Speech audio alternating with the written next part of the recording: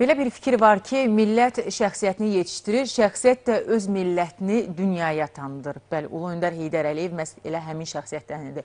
O, dövlət, dahi dövlət başçısı olmaqla yanaşı, eyni zamanda vətənpərvər bir insan olaraq hər kəsin ürəyinə yol tapmışdı və hər bir işində də Azərbaycançılıq ideyasını əsas götürürdü. Biz elə istəyərdik ki, bu dəqiqələrdə e, Ulu Öndər Heydər Əliyevin Azərbaycançılıq ideologiyasından danışaq və bunun üçün də studiyamıza e, qonaqları da dəvət etmişik. Qonaqlarımız isə e, hörmətli millət vəkillərimiz Eldar İbrahimov və Məlahət İbrahim qızıdır. Sabahınız xeyir olsun, xoş gördük. Sabahınız xeyir, xoş gəlmişsiniz. Məlahət xanım, Azərbaycançılıq ideologiyası başqa digər xalqlar üçün o söz birləşməsi onlara yad gələ bilər. Amma bizim ideologiyamızın əsasıdır.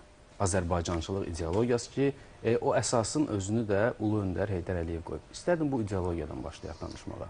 Həqiqətən də birinci mən çox təşəkkür edirəm ki, belə bir müqəddəs böyük şəxsiyyətin xatirəsinə həsr olunmuş tədbirə dəvət edibsiz. Bizim hər birimizin ürəyimiz Ulu Öndərlə bağlı belə onun xatirələri, onunla bağlı xatirələrlə doludur və hər birimiz hər gün istəyirik ki, o xatirələrdə bölüşək. Çünki hər birimiz, hər bir Azərbaycan vətəndaşı bu gün də, dünən də, gələcəkdə də ona borclu olacaqdır. Bəli, Azərbaycançılıq ideyası, Azərbaycançılıq ideyası bu bir məfkurədir, bu bir düşüncədir. Bu elə bir ideyadır ki, Azərbaycanda yaşayan, deyək ki, 10 milyonluq bütün hər vətəndaşları bir-birinə həm möhkəm bağlayan, həm də ən qiymətli saplarla bağlayan elə bir dünyanın ən gözəl bir xalısıdır və o xalının ilmələri bir-birindən ən gözəl, ən zərif, ən qiymətli saplarla bağlanıbdır və məhz Azərbaycançılıq ideyası, Azərbaycançılıq məfkurə Azərbaycan xalqını bir-birinə möhkəm e, birləşdirən bir ideyadır. Və bu ideya vahid bir ideyadır ki, və bu da bu vahid ideya əsasında da Azərbaycan xalqı, yəni müstəqillik 91-ci ildən bu günə qədər e, necə deyirlər, bir olub, həmrəy olub, vahid olub Ulu öndərimizin siyasət arxasında vəhdət təşkil edibdir və bu gün də 2003, daha doğrusu 2003-cü ildən bu günə qədər də möhtərəm prezidentimiz cənab İlham Əliyevin arxasında bu birlik, qranit kimi möhkəm birlik özünü göstərir, təzahür edir və bu gün e, Ali Baş Komandanımızın, möhtərəm prezidentimizin bu müzəffər e, zəf səfərdə, yürüşdə, müharibədə, savaşda o dəmir yumruq dediyi məhz o Azərbaycançılıq ideyasının, Azərbaycançılıq məfkurəsinin nəticəsində nail olmuşuq. Bəli. E, mən xüsusən bir şeyə toxunmaq istəyərdim. Eldar bəy, istərdim siz deyəsiniz bu haqda. E, o onun uşaqlara olan diqqət və qayğısı heç əbəs yerə deyildi ki, məsələn, Sovet dövründən başlamışdı Azərbaycançılıq ideologiyası Ulu Öndərin siyasətində. Hətta o e, regionlarda yaşayan, kəndlərdə yaşayan Azərbaycan övladlarını, qız və oğlan uşaqlarını Bakıya gətirərək burada müxtəlif tipli məktəblərdə oxutdururdu. Məsələn, Bülbül adına orada ixtisas musiqi məktəbində oxuyan bəzi uşaqlar, indi bəzi mədəniyyət xadimləri də məhz Ulu Öndərin Sovet dönəmindəki uşaqlarla bağlı siyasətinin nəticəsidir.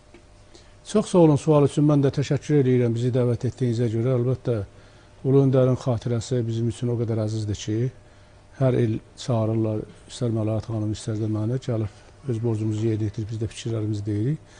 İlk öncə mən onu demək istəyirəm ki, bugün Ulu Öndərimizin ruhu çox şaddır.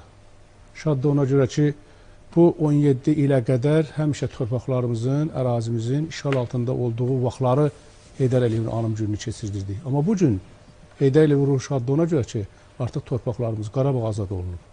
Mən Naxçıvanda işləyərkən də bir yerdə həmişə söhbət edəndə deyir dəyildir. Mənim gecəm gündüzüm ancaq və ancaq Qarabağdır. Qarabağ fikri ilə yaşayıram. Ki Qarabağ necə azad eləyə, ərazi bütövlüyümüzü necə Bu gün doğrudan da birinci dəfədir ki, biz Heydər Əliyevin anım gününü məhz ərazi bütövlüyümüzün Bax, bu böyük müharibə, böyük savaş, ikinci Qarabağ müharibəsində möhtərəm prezidentimiz, Ali Baş Komandanımızın rəhbərliyi ilə Azərbaycan zəfər saldı və elə biz dünən Zəfər bayramı keçdik ayın 10-unda e, Zəfər paradını izlədik. Bəli, qardaş Türkiyə e, Respublikasının da prezidenti Cumhurbaşqanı Rəcəb Tayyib Ərdoğan iştirak elədi. İki qardaşın bir yerdə olmağı. Əlbəttə, bunlar çox böyük dünyada, belə deyim, sensasiya oldu və Azərbaycan gücünü göstərdi. Və həmişə deyirdi ki, möhtərəm prezident deyirdi ki, biz mən bilirəm nəyi nə vaxt eləmək lazımdır. Bəli, bu 17 ildə hakimiyyətə gələn gündən möhtərəm prezident ancaq və ancaq Azərbaycanın gücünü artırmaq, hərbi qüdrətini artırmaq üçün hər şey elədi. Hətta belə mən baxıram Rusiyanın verilişlərinə, oradakı siyasətçilərin hərbi eksperti var, Igor Karachenko bu e, Müdafiə Nazirliyinin jurnalının bilirsiniz siz hamınız redaktorudur.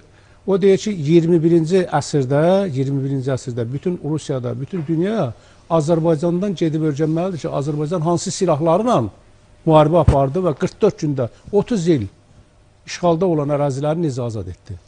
Və özü də o silahlara necə orada hərbiçilər, bizim əskərlərimiz necə belə deyim ki, artıq təcrübə qazandılar, istifadə eləyə bildilər. Silah var amma istifadə eləyən də yoxdur, misal belə şeylər. Amma bizdə o qədər hazırlıq. Möhtərəm prezidentimiz mən deyərdim ki, çox qəhrəman bir sərkərdədir. Mən fikirləşirəm tarixdən, indi azdan çoxdan mən də tarixdən bilirəm. Mənim fikrimə gəlmir ki, hansı bir sərkərdə, ölkənin sərkərdəsi bu cür belə deyim ki, müharibə aparıb və qalib gəlib. Əvvəla mən deyim ki, bəlkə də deməyim artıq Heydər Əliyev o qədər uzaq görən müdiriş bir insandır ki, hələ Mərkəzi Komitənin birinci katibi işləyəndə Sovetlər dövründə inanın ki, o baş katibdən tutmuş Brejnevdən və digər siyasi büronun üzvləri ilə zorla bu məktəbi açdırdı Azərbaycanda. Niyə? Heydər Əliyev görürdü ki, Azərbaycanın özünün gələcəkdə ordusu olmalıdır. Azərbaycan bir dövlət kimi. Və mən bu məqamda onu da demək istəyirəm. 1978-ci ildə Heydər Əliyev Azərbaycan konstitusiyasına Azərbaycan dilini saldırdı yeganə SSR Respublikaları içərisində. Hətta o vaxt mənə deyirdi, deyirdi ki, Şerbitski Ukraynaya birinci katibi, onlar dostudurlar, Məlahət xanım. Deyir mənə deyir ki, Heydər, indi mən neyinim? Mən də Ukraynada Ukrayna dilini saldırım. Deyir, dedim ki, o sənin öz işində, amma mənə mane olma. Mane olmadı. Necə keçirtdi? Konstitusiyada Azərbaycan dili saldı və hərbi məktəbi də o cür açdırdı.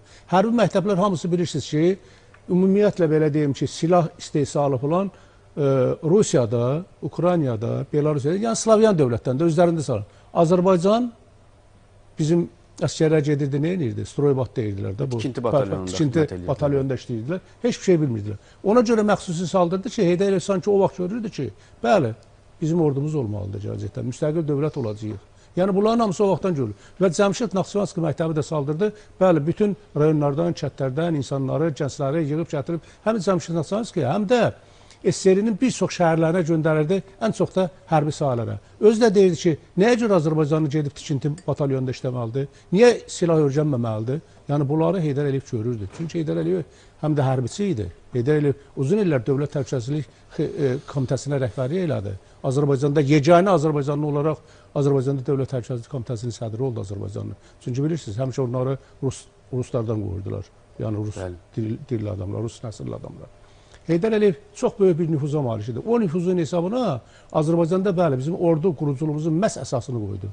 Və elə o vaxtlardan da yenə deyim cəlb olunurdu, xarici adamlar gəlirdilər, e, belə deyim ki, öyrədirdilər bizim hərbiçiləri. Türkiyədən gəlirdilər, Və xüsusilə bu baxımdan mən Naxçıvanlı olduğuma görə, Naxçıvanda olduğuma görə və deputatam və orada daha yaxşı bilir. Məsələn, türk əsgərləri Naxçıvanda ordu yaradıcılığında türk zabitlərinin çox böyük əməyi oldu. Və bu gün də mən demək istəmirəm, amma hər şey aşmaq istəmirəm.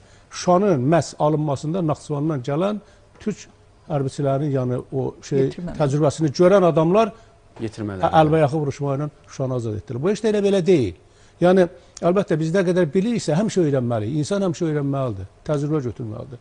Və bu gün də elə ona görə də möhtərəm prezidentimizin, ali baş komandanımızın rəhbərliyi ilə çox şükürlər olsun və mən qürur duyuram və sevinç duyuram ki, artıq Azərbaycanın çox güclü ordusu var. Dünyanın 50 ölkəsi içərisində, 50 ordusu içərisində ən güclü ordulardan biridir ki, yenə deyirəm, 44 gündə 30 il işğalda olan ərazilərimizi azad etdik. Bundan böyük qürur nə ola bilər? Mən bir Bəli. insan kimi, bir heç millət vəkili o anda qalım. Azərbaycanlı kimi qürur deyirəm, fəxr eləyirəm ki, bəli, mən mənə qismət olub Ulu Öndər Heydər Əliyev ilə Naxçıvanda ikinci dəfə hakimiyyətə gələndən sonra çox yaxın özü de demişkən Eldar mənim yaxın silahdaşım kimi onun silahdaşı ola bilmişəm. Və bu gün də möhtərəm prezidentimizin vaxtında, yəni həm 20-ci əsr, həm 21-ci əsrdə bu rəhbərlikdə həm atanın, həm də atanın varisi olan oğlunun möhtərəm prezidentimizin müəllim, vaxtında necə deyim ki, danışa bilirəm, bu sözləri tarixi deyə bilirəm, yaddaşımda qalıbdı bunlar hamısı. Mən qürur duyuram. Qürur duyuram Sözsüz ki, siz bugün də çox mən, həyəcanlısınız mən Ulu Öndər Heydər Əliyevin dediyi kimi ki, hər birimiz qürur duyuruq ki, bu gün də oradan da mən Bəli, Azərbaycanlıyam. Azərbaycanlı. Bəli, Eldar müəllim, az əvvəl siz ə, Naxçıvanski hərbi məktəbin fəaliyyətindən danışdınız. Əbəs yerə deyir ki, elə məhz bu gün də ordumuzda da ə, döyüşən həmin ə, əskərlər eyni zamanda Naxçıvanski hərbi məktəbin məzunlarıdır, Bəli, onu yetirmələridir. Məlahət xanım, amma digər bir Mən- məqama istərdim sizin Mən diqqətinizi elə bir dənə çəkim. məqama, çox vacib məqamı ə, demək Buyurun, istərdim buyurun. ki, e, çox hörmətli Eldar müəllim çox önəmli bir məsələyə toxundu. Azərbaycan dili ilə bağlı da. Bəli. O çox vacib məsələdir. Elə Yəni mənim sualım da təxminən o barədə idi. Yəni Azərbaycanın milli maraqlarının Bəli, bəli, bəli, qorunması. tamamilə, tamamilə doğrudur. Deməli, o bilirsiniz ki, Sovetin, SSR-nin Kommunist Partiyasının deyək ki, bir siyasəti o idi ki, bütün xalqları, yəni o vaxt 15 respublika idi, bütün xalqları yava- yavaş-yavaş milli kökündən, dinindən, ruhundan uzaqlaşdıraraq, assimilə edərək Sovet xalqı formalaşdırmaq. Vahid Sovet xalqı formalaşdırmaq ideyası idi. Bu da bilirsiniz dünya təcrübəsi də var. Məsələn Afrikada o uzun illər imperialist güclərin apardığı siyasət nəticəsində xalqlar tam demək olar ki, kökündən tamamilə uzaqlaşıb. Dinindən də, dilindən də, dəyərlərindən də və o SSR-də də artıq bu siyasət öz nə nəticələrini vermək üzrədir. Məsələn, e, Rusiyanın tərkibində SSR-nin demirəm hələ, yəni Ru Rusiyada SSR-nin tərkib hissəsində olan bir respublika idi. Rusiyanın tərkibində olan çoxsaylı xalqlar demək olar ki, məsələn onların arasında bilirsiniz ki, etnik türklər ə, çoxdur, bilirsiniz türk soyları çoxdur. Dinindən, dilindən, müxtəlif metodlarla onları assimilə edirlər. Orta Asiyada, məsələn, Orta Asiya respublikalarında orta məktəblər, ə, bağçadan başqa orta məktəblər, universitetlər, ali təhsil rus dilində təhsil edir. Və Ulu Öndərimiz o qədər uzaq görən ə, şəxsiyyət idi ki, lider idi ki, o düşünürdü ki, bir milləti yox etməyin iki mə məsələ vacibdir, onu da məhv etmək olur. O da onun dilindən uzaqlaşdırma və dinindən uzaqlaşdırma. O siyasət də Sovet dövründə çox güclü gedirdi və qeyd etdiyim kimi elə biz Türk xalqları deyərik, Orta Asiyanı götürək, ya şimalda e, Rusiyanın tərkibində olan müxtəlif çoxsaylı türk xalqları və ona görə də ulu öndərimiz böyük çətinliklərlə, böyük çox ciddi qadağalara, çətinliklərə baxmayaraq o konstitusiya saldıra bildi ki, Azərbaycanın necə deyirlər, Azərbaycanda rəsmi dil ə, Azərbaycan dilində dilində ana dilində olsun və nüansda- o dilimizdə də üzr istəyirəm. Bəli. O ana dilimizdə də məhz Azərbaycan xalqının dünya mədəniyyətinə, bəşər sivilizasiyasına verdiyi böyük şəxsiyyətlərin necə deyirlər, böyük yubileylərini keçirdirdi. Nizamini, Füzulini, Dədə Qorqudu, Üzeyir Hacıbəyov və çox görkəmli şəxslər. Bunlar Azərbaycan xalqının məfkurəsində, milli kimliyimizin formalaşmasında, milli təfəkkürümüzün formalaşmasında, bayaq dediyiniz o Azərbaycançılıq ideyalarının necə deyirlər, möhkəmləşib lap təşəkkür tapmasında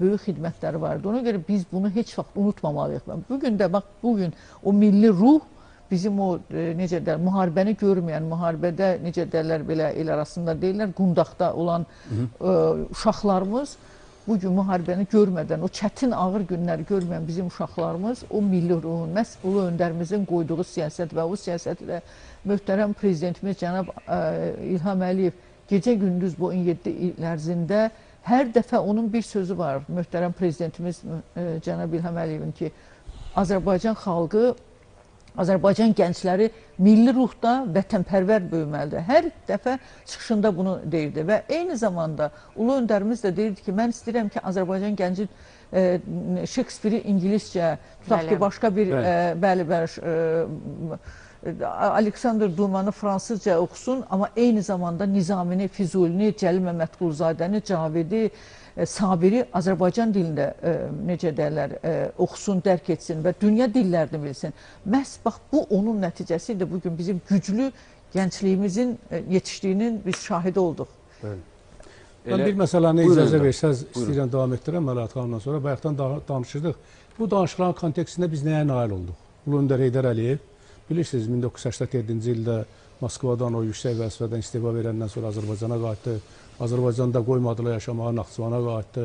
Və Heydər ilə o qədər uzaq görən adamdır. Biz 1990-cı ildə ikimiz də Azərbaycan Ali Sovetinə deputat seçildik.